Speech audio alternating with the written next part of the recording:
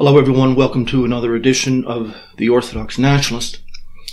We are here in the middle of April 2018 in the Paschal season. And um, first of all, as always, I ask for your financial assistance and support. My website is www.rusjournal.org. That's R-U-S, Rus Journal org, and you'll see the uh, PayPal button that you can use uh, to really keep this show on the air and to finance my uh, research, which is substantial and very original. And speaking of which, today we are going to deal with a topic I've been working on for some time. Um, one that I've been probing the perimeters of for some time. But only now have I put a paper together, um, and of course now this lecture on the subject. The title, uh, at least the working title now, is The Great White Tsar, the 13th Dalai Lama, and China in late Tsarist foreign policy. And by late, I'm referring to roughly the period of time from 1895 to um, World War One to the very late, the last generation of imperial rule in Russia. This is also essential to understanding the Eurasian idea because it has to do with Russia's shift um, at the death of Tsar Alexander III to the Far East. As you know, I've been talking often about the Shanghai Cooperation Organization as the um, main weapon against the New World Order. And this lecture series, broadcast, and my own work centers around the notion that the New World Order, or the creation of a one world capitalist system, um, is the very nature of the end times, the very nature of, of Lucifer's presence on earth. And that Russia in particular but the East more generally is going to be the hammer making war on the New World Order. And therefore, this is not only a political and economic matter, but it's also a, um, a spiritual one. And there is no greater issue, therefore, right now. And Tsar Nicholas II's policy in the Far East, even today, is mirrored in the alliance with China. The last Russian monarch, Nicholas, um, had a relationship with the 13th Dalai Lama, Thubten Gyatso, who died in 1933. There was an old prophecy that was very popular in Mongolia, China, and Tibet that referred to the Russian monarch, or at least it was thought to refer to the Russian monarch, that he is the white czar, the prophesied entity that will defend Tibet against imperialism. In the Far East, this legend was very popular. Uh, this white czar in the writings, the ancient writings of, of Buddhism, at least Tibetan Buddhism, he will come from the far north, northern Shambhala, as it's, as it's called, and he will restore order to the east, protecting them from degenerate empires of the West, specifically the, the British Empire. At the time, say roughly 1900, the British Empire wanted to fully subjugate Tibet and pump it full of drugs, opiates, like it did to most of China um, just before. Russia was their only hope, and the title of this monarch was Caesar, the Caesar Khan, or the Great Caesar. Spelled transliterated is K-E-S-A-R. So there's no doubt that this is a, an ancient reference to uh, Caesar. So under Tsar Nicholas, the Russian policy in the Far East revolved around creating this alliance with the Dalai Lama against the British. Dalai Lama himself, the, the 13th, built an independent foreign policy aimed against the British in the early uh, 20th century. The big difference, as I've said many times, between Russian empire building and British empire building. Um, one of many is that Russia never sought to subjugate anybody. These were defensive buffers, not colonies to exploit. Russian possessions were always completely self-governing.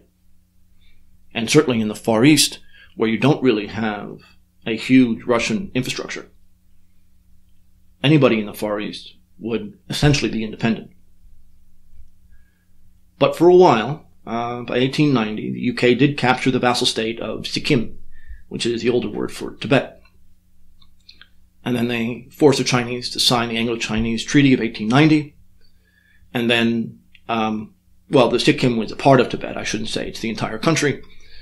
But very soon afterwards, they did open up channels with the government in, in Lhasa, which is the capital.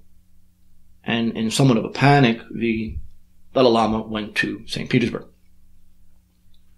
Dalai Lama sought an alliance with Russia because he recognized that so many of the tribes in the in the east of the Russian Empire had supported them against the Japanese, and um, the Russians sent a very important um, Tibetan Lama, who was a member of the Buryat tribe, uh, Dorjiev, Agvan Dorjiev, and he was the go-between between uh, Tsar Nicholas and Tibet. And in 1901, he arrived in Russia. He was a part of a Buddhist mission. Um, and another one, uh, Gumbajab uh, Subyakov, traveled to Tibet as a pilgrim. He's a Russian citizen. And he lived in Lhasa for a few months and he was received by the Dalai Lama himself. So you had two men early on, um, essentially exchanging ambassadors. Now, there was rumor at the time of a secret Russo-Chinese treaty or Sino, uh, Sino-Russian treaty that created a joint protectorate over Tibet. Turns out this was a British lie, and even a British newspaper had published the, the text of this non-existent document, attempting to turn Tibet uh, against Russia. Um, the way it turned out, say by 1904, 1905, the Russo-Japanese War is not very differently from what you see today. Um, it was the British and Japan versus Russia, China, and Tibet. Now, um, the violence between the UK and Tibet occurred at this very same time when the Russians were um, busy with Japan. Um, at the same time, Britain was very far from home. Um, you're talking about the very far north of their Indian possession. Um, but they still attempted to invade the country. And the Dalai Lama had fled to outer Mongolia. Uh, and under pressure from the British, the Chinese government, which was unstable at the time at best, um, the British government demanded the Chinese deprive the Dalai Lama of any safe haven anywhere, so that no monastery in Mongolia would have him. Uh, and this is you know, another cause for the leader of Tibet to establish contacts with Russia through uh, Ulaanbaatar, and the Russian consulate in Mongolia. Uh, yet another member, uh, another Russian government official, Peter Kozlov from St. Petersburg, was dispatched to um, facilitate communication. Now, the British wanted to create this Anglo-French entente that eventually fought World War One, and so since the British drive was to get Germany and Russia to fight one another, those are the two threats to the British Empire that couldn't take them on together, so they needed a way to divide them and have them fighting one another. One of the ways that they did this was for the British to make some concessions to the Tsar in Asia, which led to the signing of the Anglo-Russian Agreement in 1907. And the result is, at least, that the British had promised not to try to overthrow the uh, Tibetan government and the pro-Russian Dalai Lama. Now the Chinese government, again, very unstable, very concerned with losing their influence in Tibet, changed its attitude very quickly towards Lhasa. Um, so the Dalai Lama went to the Chinese monastery of Wutai, and then he traveled several times to Peking and received by the emperor. So Russia and China reached an agreement where the Dalai Lama could safely return home by 1908. So it was a testament to Russian um, diplomacy. Um, but two years later, the Chinese government was convinced that Tibet was seeking greater autonomy and sent a military ex- uh, expedition against them. Unfortunately, you know, Lhasa, the uh, capital of Tibet, did not field much of an army. Um, they were very poorly prepared. And so the Dalai Lama yet again had to flee. Um, but so, you know, by 1910, the, British had won temporarily. After that, the Tibetan army was outfitted by London. And the purpose there of this, uh, of this, of this new army was to fight China and if possible, Russia. Uh, anyway, uh, the British invasion lasted for about a year and it ended in the fall of 1904. The forces were from British India. And the point, of course, was to extend their influence from India north. And uh, just, uh, uh, you know, uh, I don't know, 20 years before, the Britain took um, Burma, uh, parts of the south of, of Tibet, um, which is Sikkim, as I mentioned before. So this would be just north of Bangladesh and just to the east of, of Nepal. Uh, and the Tibetan uh, Ganden uh, Phodrang government, which is close to the Qing dynasty of, of China, was really the only state that was free of the British Empire uh, in the region. As is well known, Lord Curzon was um, the head of the British forces in India. And like all British elites, he was absolutely preoccupied and obsessed with Russia. He even believed that Russia was planning on invading India. Now, this is quite a low probability, but he did push London for an invasion of the north, and it was Lord Curzon claiming that he had knowledge of a Russian invasion of India, um, which led to the uh, expedition to Tibet and the taking of Sikkim in the south. You know, unfortunately, as I said, they were using 19th century weapons, and they weren't even good with that. Now, 1911, 1912, you had the Chinese Revolution, and the Chinese monarchy was overthrown. That led to a very powerful national movement in, in Tibet, which, one more time, welcomed the same Dalai Lama home.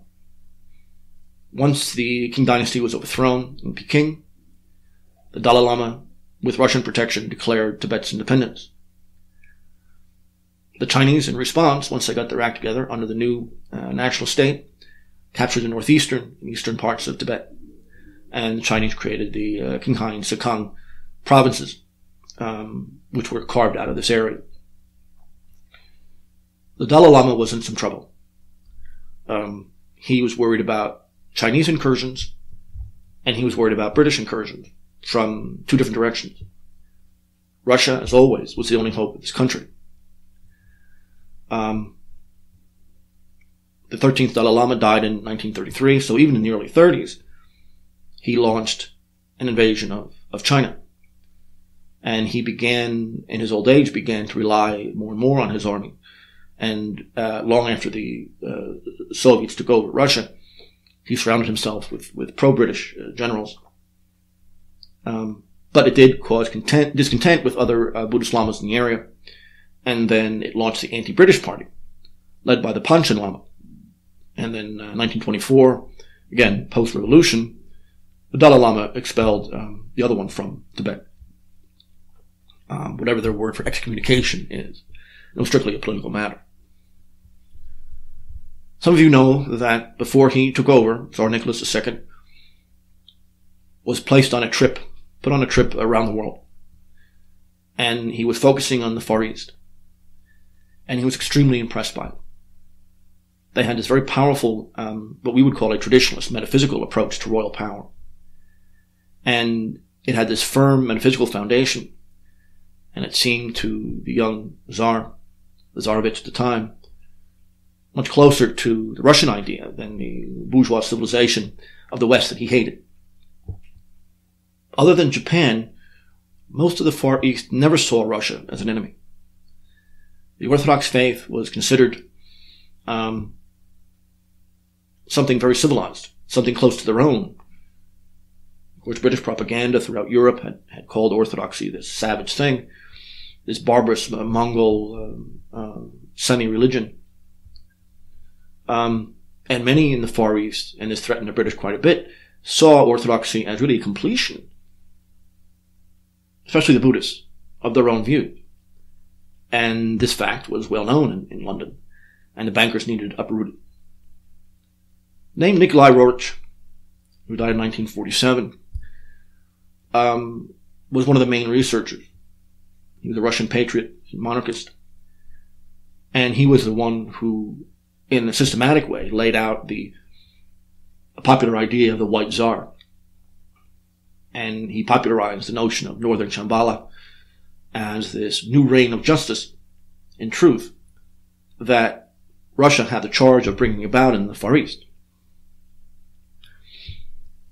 Um, the British had responded, of course, by spreading rumors that um, you know, the Russians were Mongols. I mean, they had been doing this at least since the uh, Crimean War.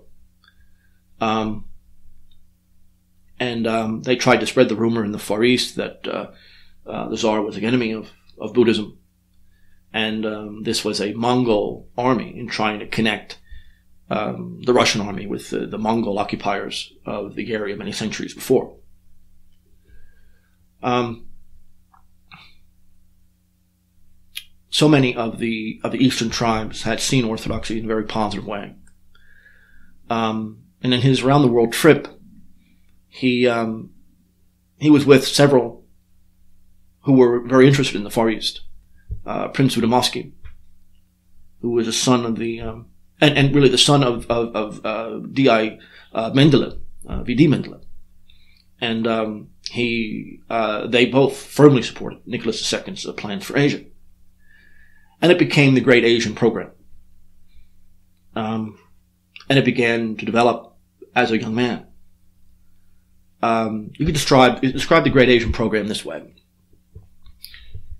This program was really, in practical terms, it was ensuring the development of Siberia in the Far East, economic cooperation with the great and ancient neighbors of his empire in Asia. Nicholas had his own view of foreign policy in his empire, which was different from his father. Not opposed to it, but certainly different. Um, they were concerned, of course, with asserting their primacy in the Balkans, concerning the Straits, uh, the Black Sea, the Mediterranean, to oppose Austria and Turkey, etc. And this isn't anything that Nicholas was against, of course. But the previous two monarchs had the Balkan and and and, um, and the uh, Black and Mediterranean seas as their primary concern. Um, that somehow Russian primacy and power could only be achieved with bloody wars in Europe, which Nicholas was vehemently opposed to. Um, but Nicholas said, we need peace in the West so then we can promote our development in the East. And really the only group of people in the way were the bankers in London. Of course, one more reports the, the fabled purpose of, of Russian foreign policy was to be found in the in the Far East. Um, in 1901, Russia established diplomatic relations with Afghanistan, which provoked uh, a reaction in Great Britain, who, in an indirect way, viewed Afghanistan really as its possession. Um, and needless to say, you know, the emperor saw his movement to the east uh, in religious terms and he had a great respect for Buddhism. Now, as I've said many times, Buddhism is not a religion. Um, there is no God if you don't want one. But it is a very profound philosophy that certainly doesn't contradict, at least in most senses, uh, the Orthodox faith. As many of you know, Seraphim Rose began to see whether or not Buddhism can be kind of the intellectual foundation of an Orthodox metaphysics rather than, uh, or in, in addition to Platonism. So the Great Buddhist Federation was something that Nicholas was interested in. And the point was to build this anti-British and anti-bourgeois alliance uh, among Tibet, China, and Mongolia. And really, uh, you know, by 1905, 1906, Petersburg became the central hub of Buddhist studies in, in Europe. He was an admirer of Eastern political theory and did not see Buddhism as a religion. But he saw it as a profound philosophical doctrine that has a certain role in Christianity in a limited way. And even today, Buddhism is one of the official, five official uh, creeds of, of the Russian Federation. Um, I mentioned um, one of the Dalai Lama's confidants, uh, Agvan Dorjiev, visited Russia starting in 1898, and he was very, very interested in this um, federation, this project. And he became, uh, as I've mentioned, one of the go-betweens uh, from East Asia to Petersburg. Another man of great significance here is uh, Peter Badmaev. He was a Buryat Mongol who had grown up in Siberia and he um, was an aristocrat and intellectual, and he converted to Orthodoxy with Tsar Alexander III as his godfather. He did have influence at the Ministry of Foreign Affairs, and he was granted a, a senatorial title. He also was the first doctor of Tibetan medicine and an herbalist, and he opened the first Institute of Oriental Medicine in, in Petersburg. Again, something that, you know, this is a, a very traditional kind of medicine, and traditionalist rulers in Europe and elsewhere were very interested in it. Uh, agenda was the unification of Russia with Mongolia and Tibet, not as a single political entity, but as an, a firm alliance. And this, of course, is the creation of a Eurasian empire. Like so many interested in the Far East and who had the ear of Tsar Nicholas, the mission of Russia was in the Far East was a way to unify Islamic and Buddhist peoples against liberal contamination. He wrote an essay uh, in 1893, um, as early as 1893, sending it to Tsar Alexander III, called The Tasks of Russia in the Asiatic East. And he was listened to because his political expertise secured the support of Mongol tribes and groups and nomadic organizations in the Far East during the Russo-Japanese War. Badmaev, like several others, knew of the legend of the White Tsar, that he would come from the north, that he would restore the now decadent traditions of a true royalist Buddhism. He writes to Nicholas II, he says this, Buryat Mongols, especially the Lamas, were always repeating at that time that the time had come to extend the frontiers of the White Tsar in the east. What they mean by this, of course, is that they meant for the Russian Empire to protect them against Japan and by extension the British Empire. The Russian Tsar was perceived even by Turkish groups um, as the great leader, the great um, liberator. Ak-Padishah was the Turkish Islamic view of him. Uh, it just means the White Tsar. And Buddhists actually, actually the Turks um, throughout Central Asia had given this uh, this um, uh, was given uh, to the Russian rulers even in 1940 as a sign of respect. Of course, it was a way to gain protection of, of Moscow against um, against their opponents. And but prior to this, prior to the Soviets, uh, the Khan was seen as a white man. That's not necessarily what white means in terms of white czar, but it did have a racial component. And all contemporaries agreed to this. And it went deeper than that because the Buddhists of the Far East saw Tsar Nicholas as a descendant, so to speak, of Genghis Khan, whether it be by blood or reincarnation. And as some of you know, I've been lecturing for a long time that there was really no Mongol occupation of, of Russia, no Mongol conquest of Russia, um, or at the very least that those who conquered um, parts of Russia were not Mongols, they were not Asiatics. Genghis Khan was depicted by contemporaries as a white man. But regardless of that, all the children of the Khan, so to speak, were granted this title, including the Russian emperor.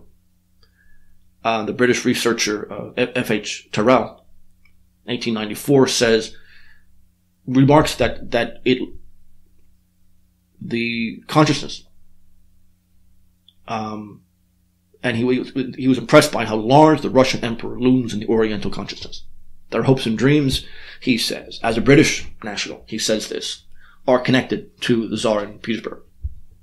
These are high compliments. The idea of the White King was equally close to all the peace, peace, peoples of Eastern, uh, of the Far East, that were part of the Russian Empire and even beyond it. The color white, um, apart from its racial connotations, in the Far East was universally seen as nobility, aristocracy, and purity.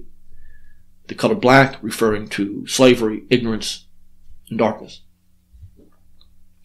Badmaev and um, Dorjiev, as I mentioned, um, were both close and were both equally close to the Dalai Lama himself. Dorjiev um, began, like, like Badmaev and, and Roerich and many others, they worked together to create this notion. They, they took it just directly from the legends of the Far East, that this new coming kingdom of Shambhala, uh, and it comes from uh, the Kala Chakra text of Tibetan Buddhism. And so this isn't something they invented. This goes back to the Tibetan, uh, very ancient in, in, in, the Tibetan mind. And it was uh, Dorjiev opened the first Buddhist temple in all of Europe in Petersburg. And it was that pro-Russian Tibetan uh, wing of it that was established there. And of course, Nicholas Roerich was uh, one of the artists who um, who worked on the temple itself. And he had been, as I mentioned, introduced to the legend of Shambhala and Eastern theory by uh, Dorjiev himself, who was a Lama. Uh, a name you might know, um, uh, George Gurdjieff was another. He had a tremendous impact on esoteric mentality in the West. And he also was friends with Udamovsky, Badmaev, and Dorjiev. So you had this tremendous circle of all pro-Russian, all pro-traditionalist, all royalist uh, Russians, and who were making contacts with the Dalai Lama, um, starting in roughly 1895. Uh, as he was designing this first Buddhist temple, Roerich was introduced to the concept of Shambhala and Russia's role in bringing it about. Uh, you, you could talk to, you know, he was a traditionalist in the same school of, of, of, um, of Guénon and, and Evola. Between 1925 and 1928, now this is a bit later, Roerich had taken five expeditions through Central Asia. And that little known region, region between the Urals and the Himalayas, which he called the heart of Eurasia. His concern was ethnographic, the traditions and stories of, of the peoples there. And he wrote um, two books, the Altai Himalaya, the heart of Asia, and the other one was Shambhala. The Kalachakra text, that just means the wheel of time. Uh, it is from the Tantric school. It is Tibetan. And it does refer to Shambhala as this hidden country where the ancient texts are followed in their purity. Um, you had some old believers who had their, you know, we know, we know of Kitezh, which is the ancient, uh, true Orthodox city that was sunk, um, during the invasions of the Middle Ages. But you also have, um, uh, Belovodya. Um, also, you know, Kitezh is in a lake, uh, Belovodya is, you know, also concerns water. And they weren't too different from one another. And they were preserved by the old believers who had escaped um, the Nikonian monarchy by going very far out uh, to this part of the world. Um, and Priestless, uh, old believer, said this to um, Roerich in his travels. He said, In distant lands, beyond the Great Lakes, beyond the highest mountain, there is a sacred place where all truth flourishes. There one may find supreme knowledge and the future salvation of mankind. And this place is called Belovodya, meaning the white waters. Bela for white, Vodya from for water. So northern Shambhala was, in Roerich's mind, and many of the old believers, many others, as Russia, Eurasia. In the heart of Asia, uh, describes Shambhala as a future kingdom, uh, as well as a historical event where this new era, era of traditionalism to finally overthrow the Kali Yuga will dawn. And of course, Kitezh as I've mentioned before, simply another variation of this same thing. Same concept anyway. But like all the rest, Roerich saw Russia's critical role in bringing the philosophy of the East into a unity with uh, Orthodoxy. To create a new synthesis, philosophically speaking. A traditionalism that would make war on the decadent West. Um, it certainly doesn't seek to overthrow any of the doctrines of Orthodoxy, but it sees the Far East as closer to orthodoxy than the philosophical um, point of view of the ancient West. Um, so the, the Caesar, the Caesar, in the Tibetan works, the hero king, will come from the north. There was one Tibetan Lama who said this at the return of Kesar. He says this It is from Mongolia, which could also mean Russia, by the way. He will come again with his army to exterminate all those who oppose the reign of justice. We have slept long, while he, the invincible, was resting. But we will awaken for his return. To the conquest of the world, he will lead millions of Asiatics who today are sleeping. He'll be reborn among us. The power of our united thoughts will construct him. He will be the tulku, which is a, thought uh, object. In the minds of all of us, whom the filings, which are the Europeans, uh, and in their case, he's referring to Western Europeans, especially the British, wish to make their slaves. The true faith will be preached, and those who refuse to act justly, the masters who insist on remaining masters, the slaves who persist in remaining slaves, will be exterminated. It was not uncommon to refer to Asiatic Russia as Mongolia. Um, he's not referring necessarily to Mongol peoples, he's referring to um, Russians acting in the East. That was the interpretation of all the major uh, Buddhist thinkers uh, that I've mentioned. But you had many following the Lamanist idea. Um, even during the reign of, of, Empress Elizabeth, in the middle of the 18th century, the Emperor of Russia um, had the potential of following the footsteps of Buddha in the in the East. Um, the Bodhisattvas, the notion of someone who has reached nirvana but doesn't go there because his role is to teach those who are still unenlightened.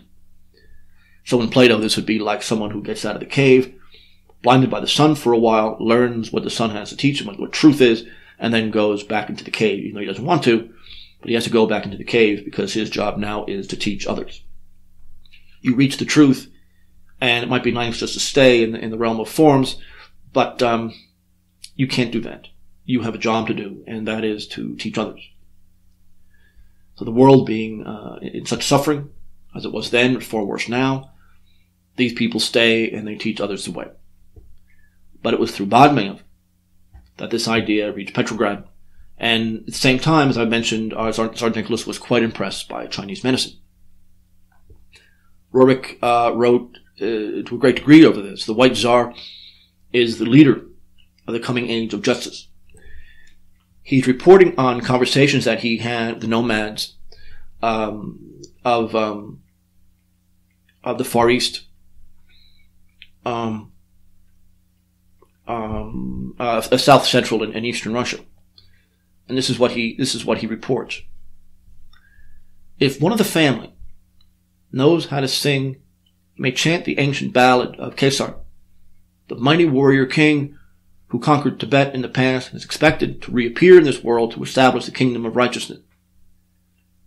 The usual dull expression of the nomad suddenly lights with an inner flame that conveys the ancient martial spirit that is still glimmering. New episodes are added to the ballads and messianic ideas attached to the figure of Kesar.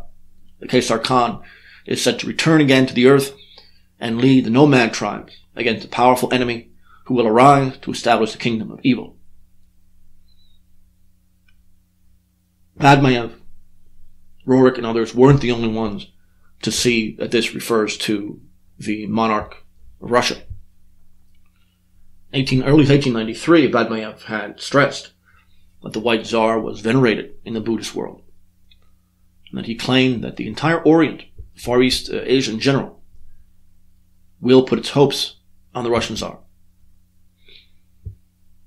And he influenced Tsar Nicholas um, bit later, who was already very uh, positively predisposed to this concept, to move uh, more aggressively in the East.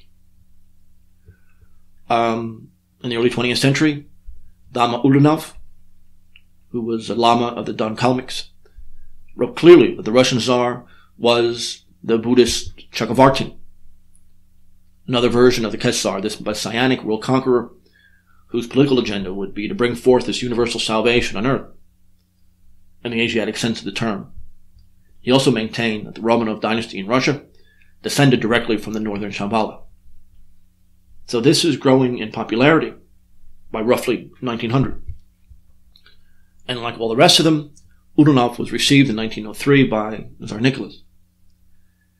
The Tsar writes in his diary right after their meetings, he says, This Ulyanov should direct the hopes of the Tibetans towards Russia in their wrath against the British. So you had a, uh, Dorjiev, all these guys had a decisive influence on Dalai Lama, and it didn't take long for him to realize um, that these texts did point to the Russians.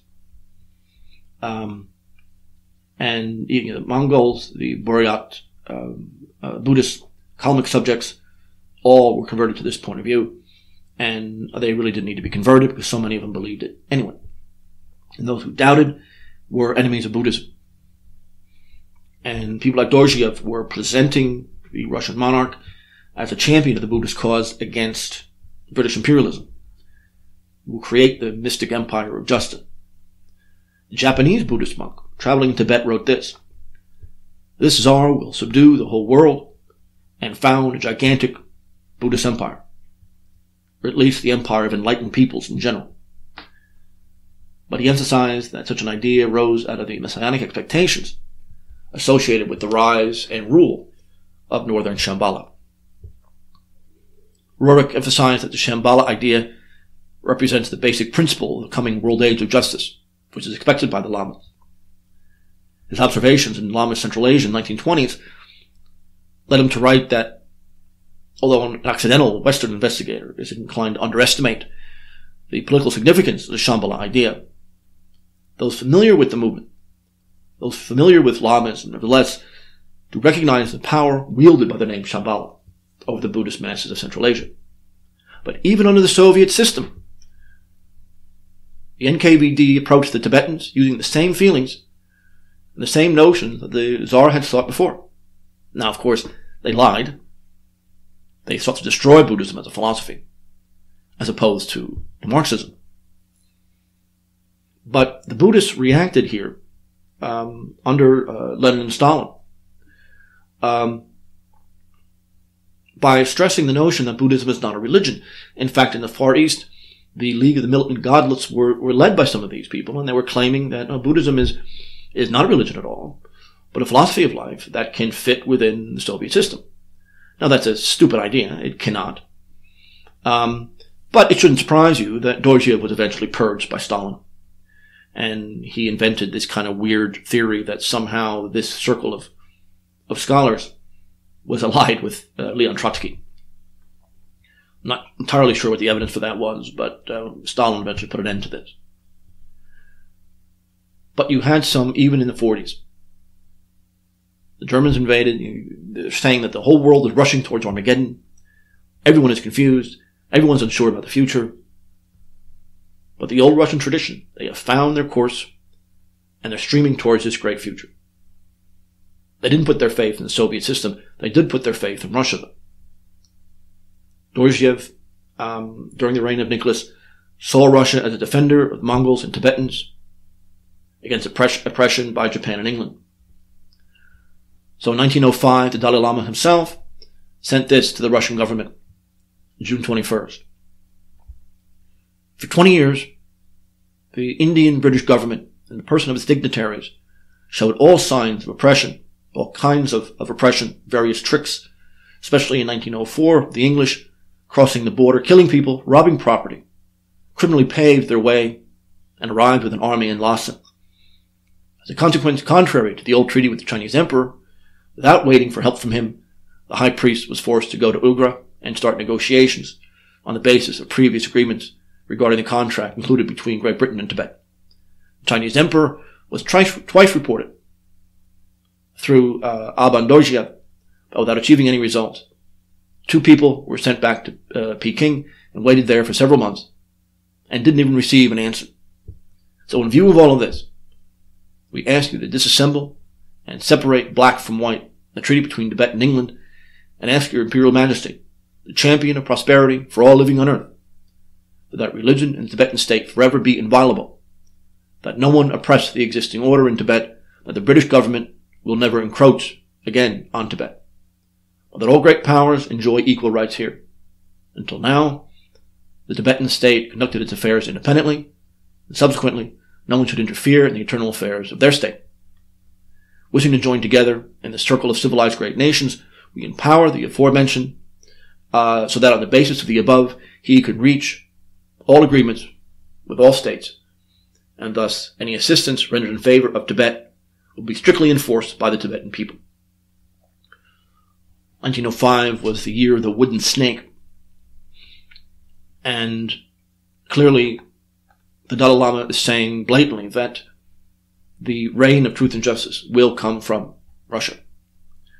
He shows clearly that the British are the enemy, but also shows no faith in the Chinese emperor. And he sees, and the exact title that he uses for Tsar Nicholas is the champion for prosperity of all living on earth. So, under the influence of people like Dorjiev, Dalai Lama, who was at that time again in forced immigration, wanted to even settle in Russia. Uh, the Dalai Lama uh, sent a, a, delegation of monks who handed over to the sovereign the authentic garments of the Buddha himself and the sacred mandala. Gifts of the Dalai Lama, testifying to the deepest veneration of the Russian Tsar by the leadership of Tibetan Buddhists. So Ukhtomsky then became the main resident in the Far East, and he prepared a powerful advance of Russia to the east, spreading Russian influence uh, in uh, which is on Lake Baikal, China, uh, Upper Mongolia, and established ties with, again, uh, once it got stable, Tibet and Korea. So Ukhtomsky wrote letters uh, to the emperor in St. Petersburg, and he reported um, all the important news in the Far Eastern region uh, the only ones who were doing that before were the British, which they did, who they didn't trust. And they really, you know, mapped out the area. And they conveyed the most important information about really the moods and mentality of the Eastern peoples and political decisions that were taken by um, their leadership.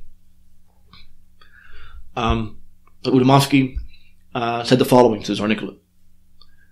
Your Imperial Majesty, in view of the latest developments in the Far East, I dare to cast the only atlas of my kind given to you just for a few days. On page one, it clearly shows the best way of Transbaikalia to Peking, and it shows the benefits of our position between um, and Stratton.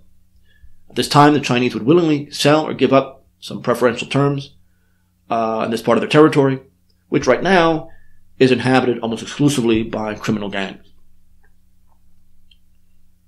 Again, you have a very powerful network now of intellectuals and diplomats functioning in the Far East navigating this, you know, what most people were ignorant of at the time and even today, not only the ideas involved, but the powers involved. They created an agent network, which was far more than just, you know, agents. But Ukhtomsky had the, the money to, to create this network to strengthen Russia's influence in the Far East, and as well, you know, in China included. And dominance in Central Asia was something extremely important to Buddhists there and in the Far East as well, with the exception, of course, of Japan. The head of the agency there of Prince Ukhtomsky was none other than Peter Badmaev. Um, he was baptized Orthodox um, later on, but he never it never uh, vitiated his respect for Buddhism. So these people are constantly sending back information, maintaining friendly relations with local leaders, um, created the first telegraph communication uh, on this territory. And this is the only way, it was the only telegraph um, that, that could communicate with the Russian army. And then really you get objective, uh, reliable information on the Far East for the first time. Keep in mind, Russian colonialism has nothing in common with the um, with the British um, Russia had no intention, it didn't even have the ability to occupy these states or dismember them the way that the British had done. Um, but the Western European colonial empires, the Dutch and the British especially, um, the Dutch were dominated uh, Indonesia, the U.S. was in the Philippines, and the British and French had divided up the rest of the areas. Um, the French uh, in, in Indochina. But the economy of China was controlled by foreign capital. And this comes from pressure from, from the British. Uh, China received, by 1898, China receives uh, several foreign loans They totaled about 54 million pounds sterling. Foreign powers built railways in China and engaged in the mining extraction of, of minerals, given the weakness of the Chinese emperor at the time. But as we say, Europe, Russia had reached the limits of its expansion. Um, and so even if the goals in the Balkans or in the Straits doesn't doesn't work out, um, Central Asia is pro-Russian. Most of the Far East is pro-Russian. They want to continue the development of Siberia and even move into parts of northern Manchuria. And the international situation, you know, early 20th century was favorable. And these were um, ambitious. China was falling apart. And any country that could, could send an efficient contingent to China uh, did it without any hesitation. Now, of course, the British were very unpopular in the area. They fought two opium wars.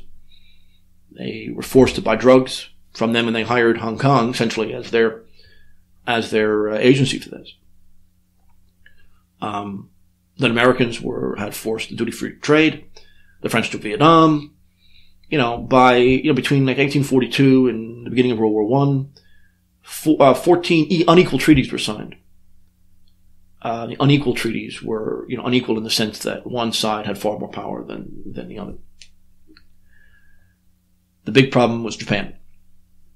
Qing Empire in um, China, uh, right around the time Nicholas II takes over, had suffered yet another defeat. And Russian diplomacy um, was to have peace in the area, and the Japanese were forced to kind of moderate their territorial claims. Um, Russia received the Liaotung Peninsula, which was rent free. That's where um, uh, Port Arthur was. Uh, and the point was, of course, to build a Russian railway in the area. But expansion to Manchuria turned out to be an error um, because the advance into Manchuria and Korea uh, led to a war with Japan. Um, but also China, Russia was interested in supporting the legitimate government in Peking rather than taking part in these unequal treaties. But Russia specialists in China were saying the decline of the Chinese empire was just temporary. Um, but at the same time, you know, uh, Nicholas II's primary concern was peace in the West so he could move to the East.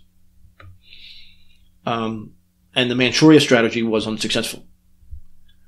Uh, even if, if they were to defeat Japan, um, the Yellow Sea, you know, wouldn't have helped either Russia uh, or anyone else in the First World War, or even the Soviet Union later.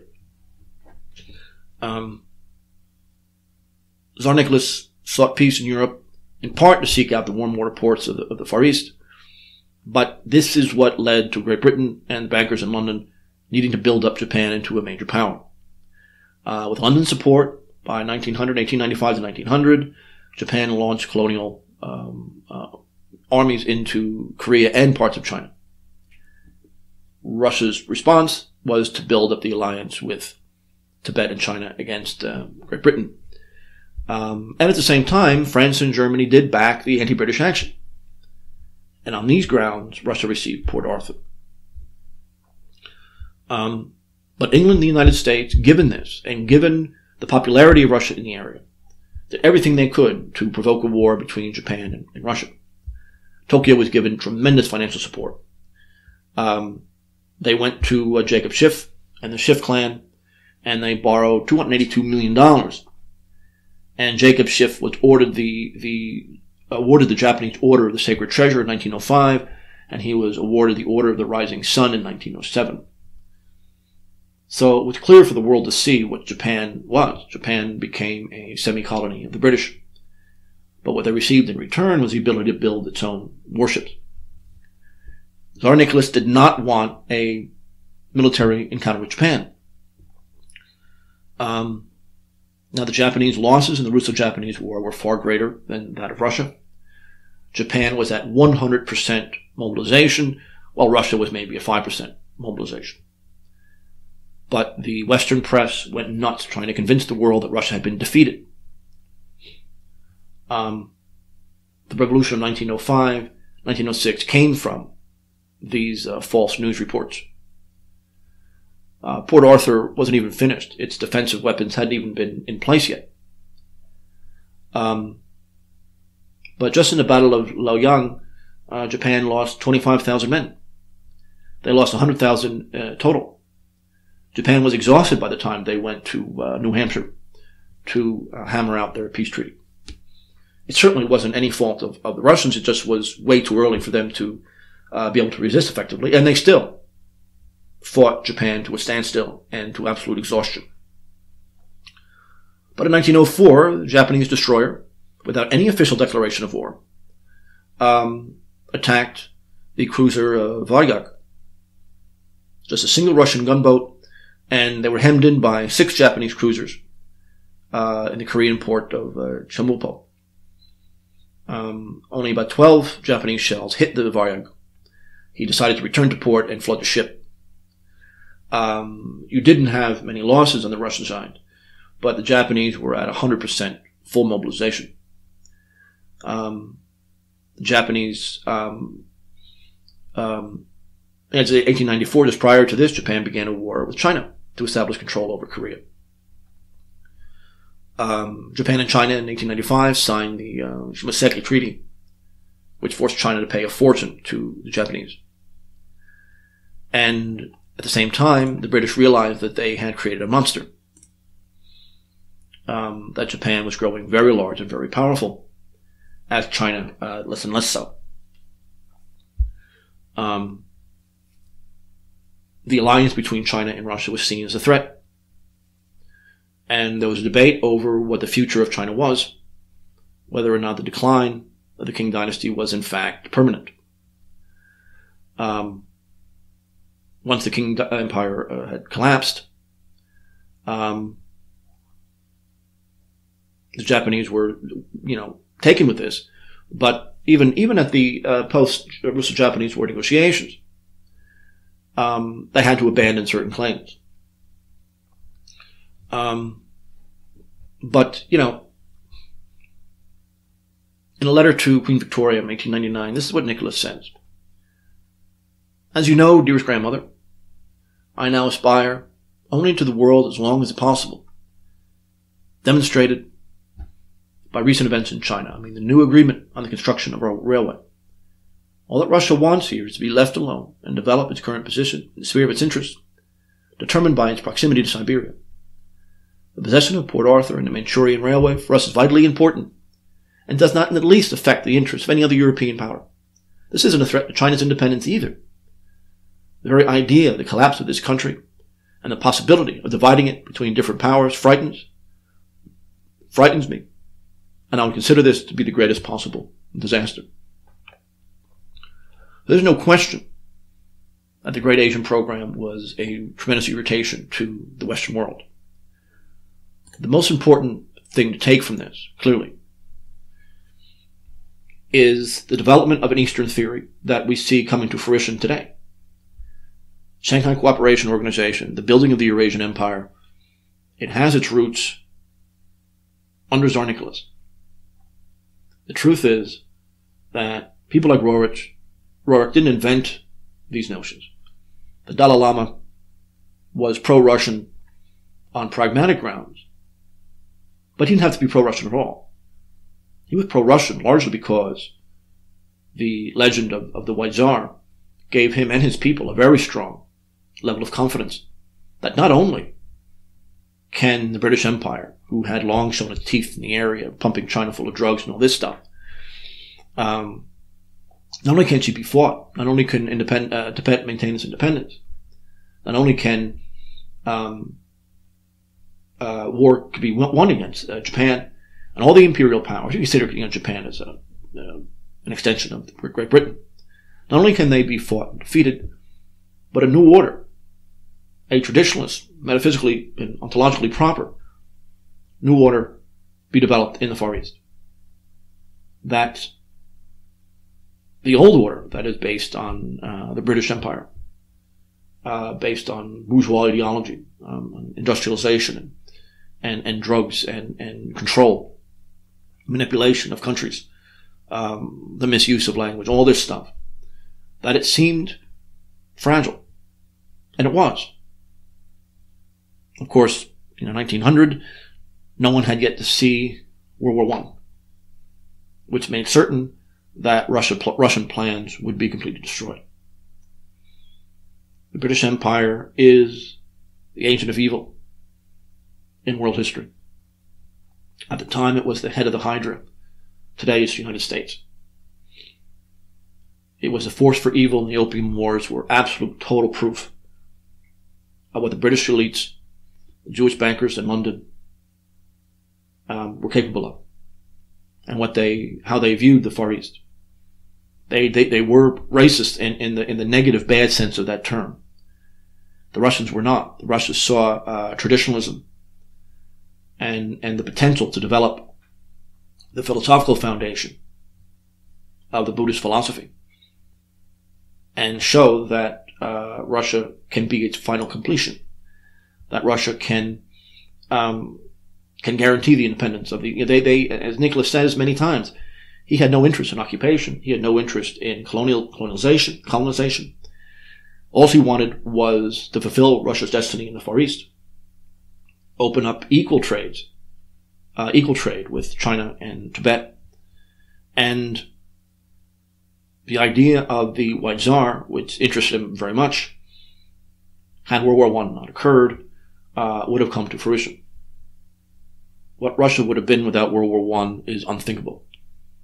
Their population was exploding. They were creating um, a tremendous um, uh, Eastern Empire, or really a federation, a Buddhist federation there.